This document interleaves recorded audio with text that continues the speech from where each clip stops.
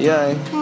I'm happy that you here with me. I'm sorry if I tear up. When me and you were younger, you would always make me cheer up. Taking goofy videos and walking through the park. You would jump into my arms every time you heard a bark.